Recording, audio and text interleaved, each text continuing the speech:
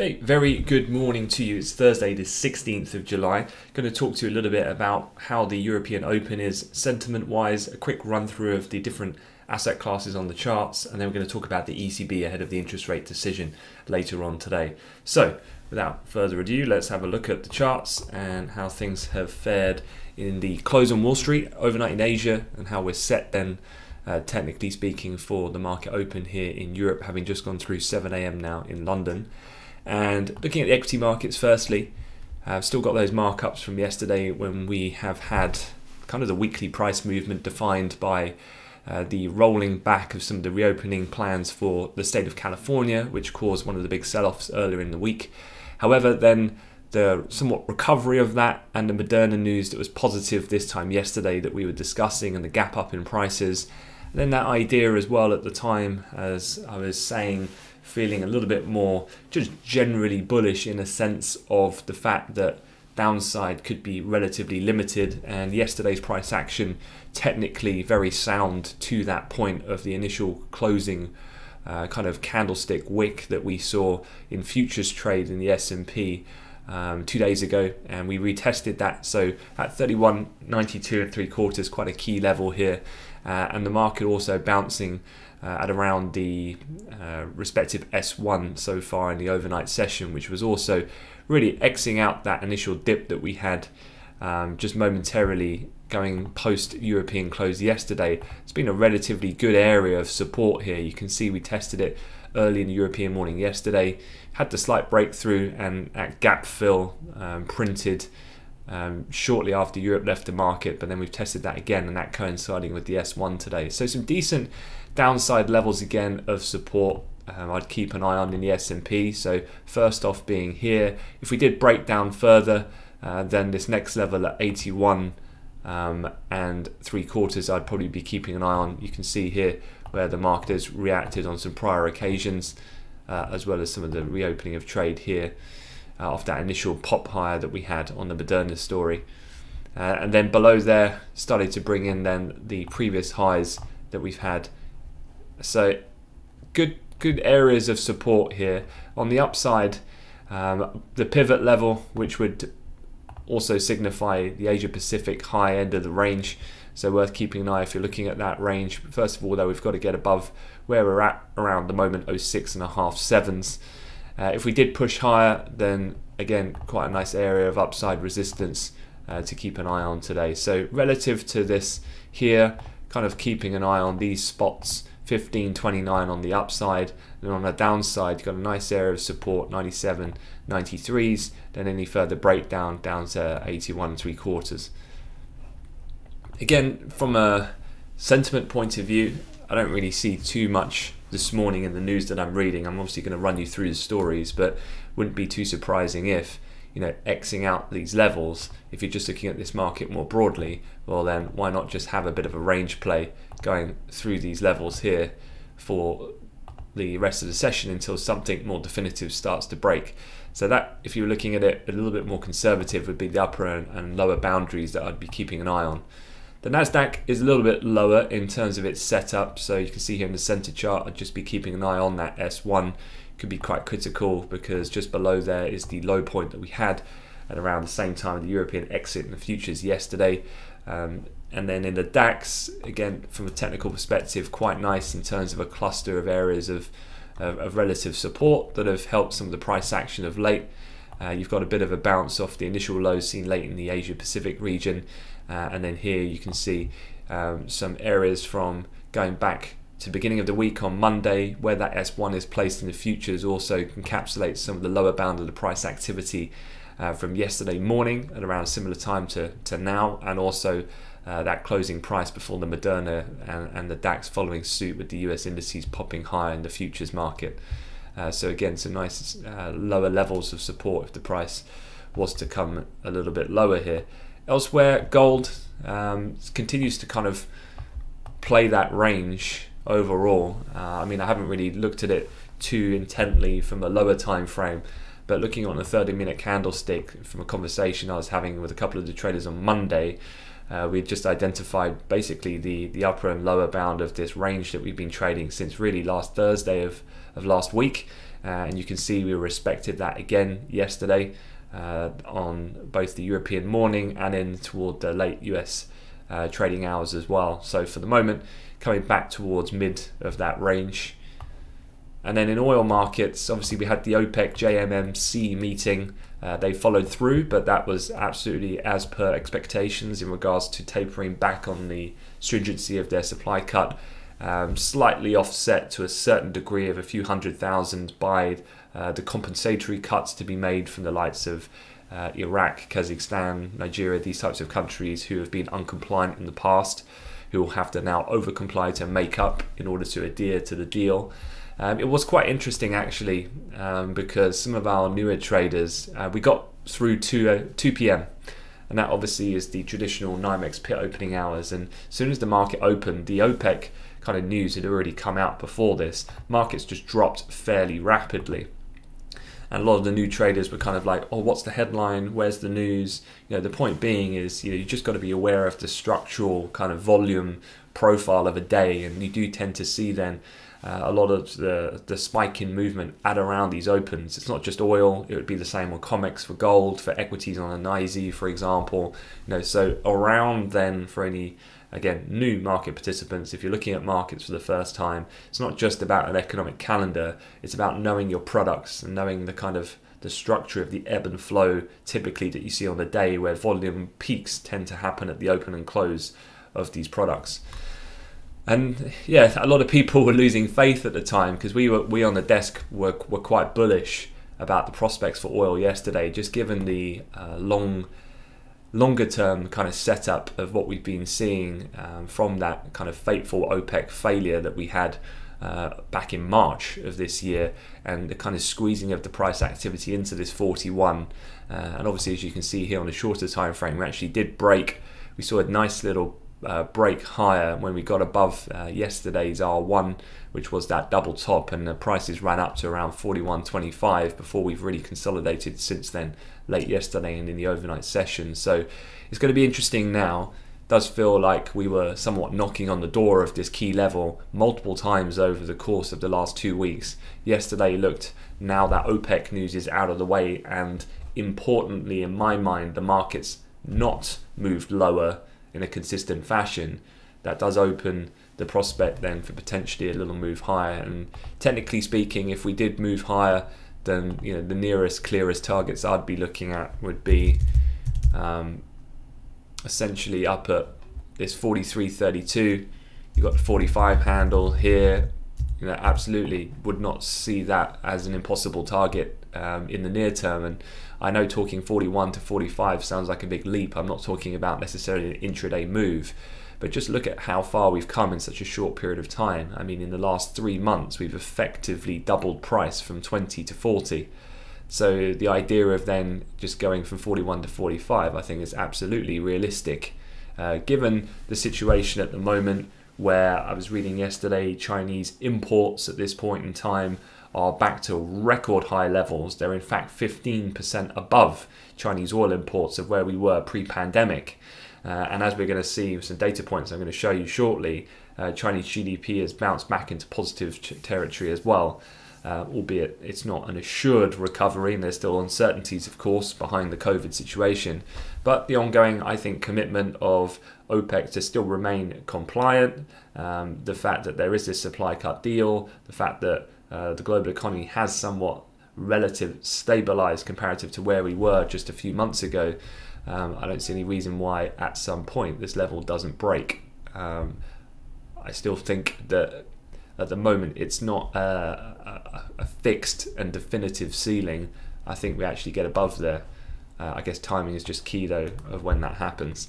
So yeah, that's the overall mix on the charts. The currency market, Dixie's touch firmer this morning just reversing some of the, the, the decent selling that was observed yesterday. Uh, so Dixie up 0.1%, just imparting some mi- minor downside pressure onto the major currency pairs. Euro top left here, just keeping an eye as it comes into close proximity to yesterday morning's open level, which was around that 114 handle, where in the futures you've also got the S1. All right, well, look, let's get stuck into some headlines. And first of all, let's start chronologically then um, with the Chinese and Asia Pacific session, where generally in the region things were a little bit dampened. Um, not not huge sell-offs, but just negative pretty much across the board. The CSI 300 index, so the biggest companies in China, was down multiple percentage points at one point. It's kind of um, pulled back a little bit, but still negative territory. Um, this would mark the first three-day loss, in fact, for that index in China uh, since May. Now, I know that sounds like a like a newswire statistic somewhat sensationalized because don't forget how um, how much we rallied over the course of the last several sessions or week and a half or so in China. You know, the local indices were up, you know, in excess of well into double digit percentage gains. So rallying 13% and coming off three doesn't sound so frightening when you put it into context rather than just believing a, a one headline that you're reading this morning. So that doesn't really spook me too much, to be honest. Uh, from a data point of view, there are a few things that have come out. Um, notably, you've had, if I just jump to here, um, this is GDP, industrial output, and retail sales. So just running you through these numbers. GDP for Q2 came in at plus 3.2% in the three months into June from a year ago. And that reversing, of course, uh, the black line, a heavy contraction of around 6.8% that we had in Q1. Um, so this GDP number at 3.2% for China was better than expectations of 2.4%. Uh, the industrial output rose 4.8%, but that was basically in line with expectations. The retail sales number, though, was a disappointment for June. That came in at minus 1.8% against expectations of a plus 0.5% reading. Uh, so if you read between these um, the kind of headline figures and you start looking at this a bit more intently, essentially what it's telling us is that the recovery is still largely uh, industry driven. Consumer sentiment, though, is still somewhat fragile. And I think this is a really important point here for, for China generally and how to interpret this economic data. Because what you're seeing at the moment is if you're tracking a lot of these mobility reports, yes, China has seen a degree of return of let's say normalizing in its behavioral patterns, but we're still quite a, a fair way off pre-pandemic kind of activity. And you know, consumer psyche certainly is, is, is such a fragile thing when you're talking about people returning back to, from a consumption point of view, normal behavior in terms of dining outside, um, going to bars, restaurants, but also shopping, high streets, shopping centres, these types of things. And so that's not yet recovered, and that's quite telling because then, if an economy like China, which is heavily still dependent on manufacturing activity and exports, well, then you're reliant then on external customers buying your goods and importing. And one of the things here, though, is that the rest of the world is in is still trying to find its feet and deal with what is going to be a very deep recession. And so, if China doesn't see this uh, internal consumption starts to increase and consumers really start to step up to the plate, then it's hard really to see any um, real further improvement on what's just happened at the moment. Uh, and obviously, you'll be eyeing what type of consistency this Chinese uh, economic recovery can have if it is then dependent on external forces when those as such in the case of the US and, and elsewhere globally are relatively weak at this point in time. So yeah, quite interested to see um, how that plays out. Um, otherwise, on the US China trade front, there's been a couple of new developments. President Trump has indicated to aides that he does not want to further escalate tensions with Beijing, is the latest from overnight. He's ruled out additional sanctions on top officials for now, according to people familiar with the matter. This comes on the back of some reports that his administration is cons- considering a sweeping ban on travel to the US by Chinese Communist Party members. Um, so again, uh, I do feel like this trade war it's not really having too much of an impact on prices at the moment.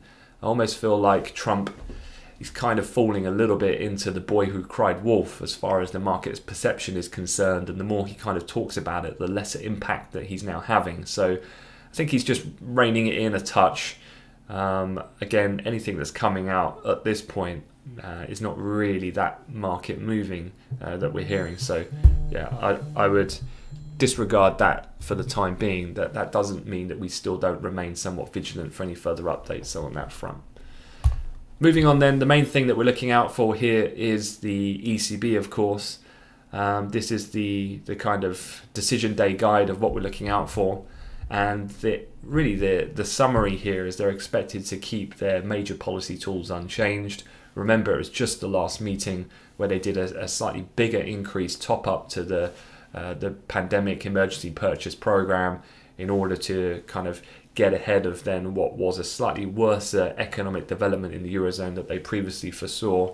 So there's no real need for them to take any further action at this point. However, that does not mean that we'll be closely monitoring Christine Lagarde's press conference as usual to get a little bit more of a feel and an insight of where their heads at right now about the current context, but also about what they feel about whether their current level of policy that's being implemented and that's available is going to be sufficient or is there going to be need to be more in future.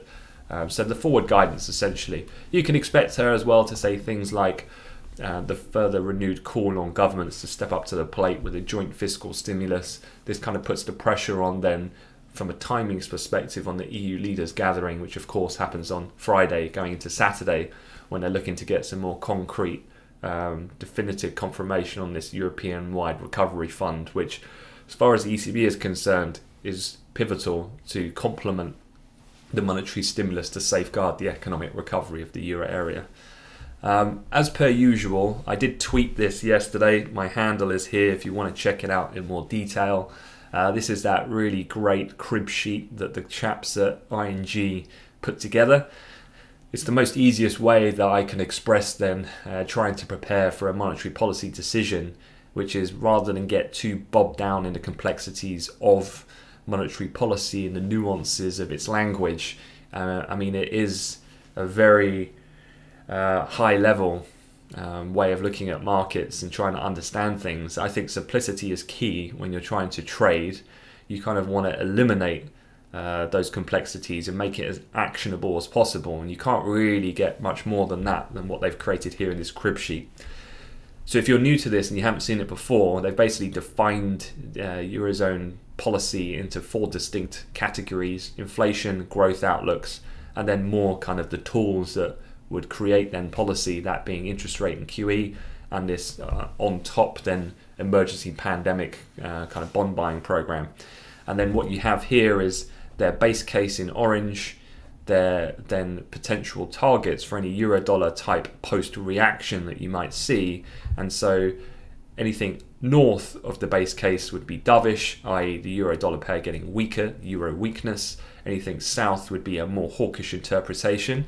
And then each one of these boxes would be the suggested change to then the current fixed language in orange, what would need to be said in order to create this more hawkish or dovish type reaction. So it really is a, a great matrix. Now, here then, what is the base case? So currently, the inflation and growth outlooks are probably the two things that might see some subtle changes, rather than on the right hand side, the guidance around rates and the PEPP program. They're unlikely to be changed. So, what are we looking out for? Well, the current inflation outlook is surrounded by exceptional degree of uncertainty, is what they said last time. Um, what ING is suggesting is that the recent data suggests the CPI pickup will take longer. So here, rather than just sort of saying nothing and just talking about uncertainties, they're refining it a little bit and in taking quite a dovish stance to be supportive then to markets that they're willing to do as they have done as much as possible to support the recovery. So that that I think is a reasonable uh, assessment and assumption. On the growth outlook, they previously says activity is expected to rebound in the third quarter and ING looking for them to say recent data suggests significant slowdown in activity. So if anything, what they're suggesting is from where we were before to where we are now, and I think that makes sense, is that they've become a little bit more kind of downbeat in their rhetoric. But that doesn't yet um, become downbeat enough that they need to be making immediate changes to what they've already implemented, which they need to see like the fruits of their labour, if you like, for what they've already unveiled. Um, so on the more kind of dovish end, if they start talking about um, you know, inflation pickup is far too slow to hit our target. Uh, recent data doesn't suggest a sustained easing of risk, i.e., risks are still clear and apparent. That would be more dovish, i.e., it's going down, an even more pessimistic um, conclusion of the current events that are unfolding. On the flip side, if they talk about you know risk to inflation are balanced, the economic outlook has become balanced. Uh, if they start signalling uh, the governing council of it uh, on an increase to the PEPP a bit later on down the line, for example, if there's no change or hint at another easing of uh, their, their, their kind of uh, liquidity programs or their loan facilities like the TLTROs, then these could be quite uh, quite hawkish. Overall, though, um, to keep things simple, um, I'm not really expecting too much, to be quite frank, from this. I think this is one of those meetings where it's a little bit um, the kind of uh, status quo she just needs to deliver a fairly calm and assured performance in order to just calm and alleviate markets' concerns at this point. There's no need to rock the boat too much. So the Q&A will be key. The initial, as it's a two-part event, the initial rate part at 12.45 is unlikely to be that exciting. 1.30 is where the focus will be. But again, as we've just uh, discussed here, the the likelihood of her saying something that I think is going to really change and move the needle of market perception of the near term changes of any policy, I think are fairly limited. That doesn't mean that we won't go into this marking out both levels uh, on euro denominated assets, so we're best placed to, to take action accordingly, proactively, uh, if that does materialize as a scenario. From the calendar for today, um, a few things to have a look out for. Uh, I have seen some of the UK data already come out. Um, the average UK earnings 0.7% against expected 0.5. I did hear though the squawk were talking about. I think this was more to do with the claimant count rate, which was particularly low, uh, but the methodology of that number is somewhat impacted by the uh, furlough schemes. So I wouldn't read too much into any disconnect on those claimant count readings. Um, but as you can see, no real impact on the pound on that. So looking further forward, then there's not too much for the rest of the morning from a fixed data point till we get to the ECB part one, 12:45, part two press conference at 1:30.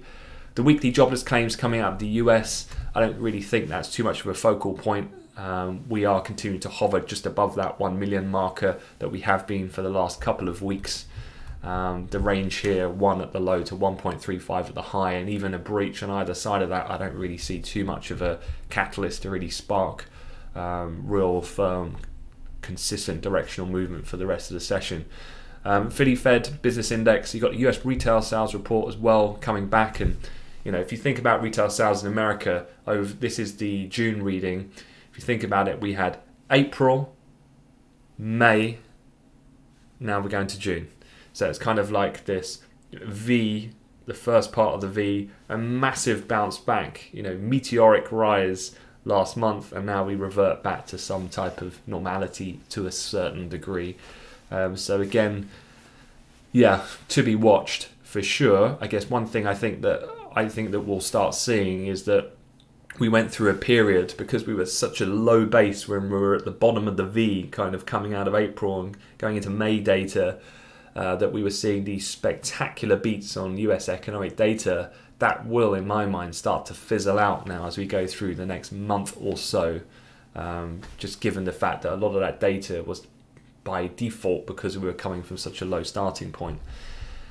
Um, speaker wise, there's quite a lot actually that you need to be aware of um, on the speaker slate. Um, you can see you've got Bank of England's Haldane um, is speaking at 11:45. Now he's particularly interesting, of course, because you remember he was the sole dissenting person on the Monetary Policy Committee at the Bank of England who did not want to do QE. So he is seen now as much more hawkish uh, as far as the the group is concerned. So he's speaking just before midday, and then Bailey, his boss, if you like, the governor, is speaking on what appears to be a separate event. Um, that'll be um, afterwards at 12.15. Christine Lagarde's press conference at 1.30, kind of the main event of the actual speeches for today. Fed's Williams, a voting member, at 4pm. Evans uh, at a separate event, but non-voting member. Um, and then also, just given the current state of the ongoing situation with China and this Hong Kong security law change that we've had, um, Secretary of State Pompeo, who is probably the most um, tied toward that type of subject matter, is going to be speaking at 7 pm. So, worth keeping an eye out for that speech as well for geopolitical news. Um, fixed income, just quickly, uh, a lot of supply coming out of France and Spain this morning if you're trading those relatable products. Um, you've also got the WTI August options expiry uh, at around the close this evening. And then from the bank side, following on from the likes of GS, who had a you know phenomenal performance in their fixed income trading division, their equity trading division, and investment banking advisory fees were all up. So that financial sector all going as per analyst expectations at the moment, with the divergence between those investment banking more defined uh, banks comparative to the more kind of, uh, I guess. Uh, holistic financial services banks, which includes things like lending, which in a sense, then are going to have a higher commitment for um, bolstering their credit reserves, given the ongoing situation of a pandemic at the moment and the risks entailed towards um, having greater credit provisions. Um, otherwise, J and J, uh, perhaps a bigger company of those banks, MS, Bank of America, Abbott, and uh, Netflix, obviously always quite an interesting one. Tends to see large price swings on the back of their earnings, uh, as seen as one of those kind of FANG stocks will probably generate some headline activity.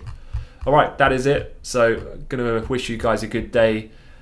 Any questions at all, just let me know in the chat. Um, and good luck for the ECB. Uh, again, hopefully, it will provide us with uh, some opportunities, uh, but might well be a case of look, prepare for every scenario, but be fully willing to be disciplined that uh, it could be a fairly calm event, all things going as per planned with expectations. Okay, leave it at that. See you guys tomorrow. Thanks very much.